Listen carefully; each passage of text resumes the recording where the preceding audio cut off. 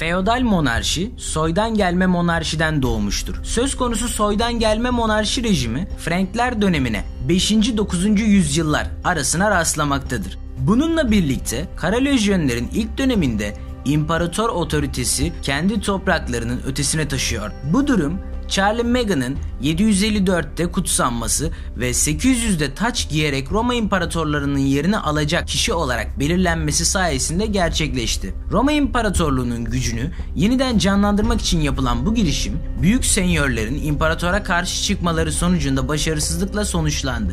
Bu çatışmadan feodal monarşi doğdu.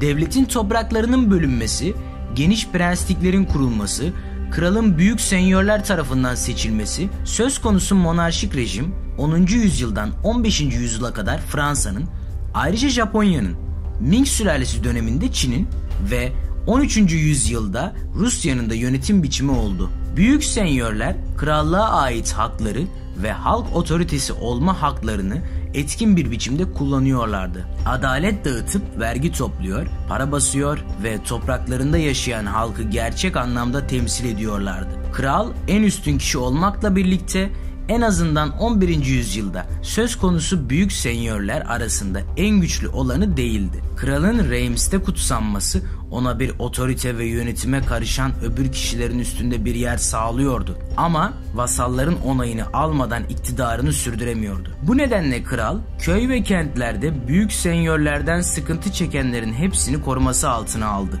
ve kendi gücünü sınırlandıran bütün güçlerle çatıştı. 14. ve 15. yüzyıllarda krallık yönetimi güçlendi ve feodal nitelikteki bu monarşi bir tür yönetim monarşisine dönüştü.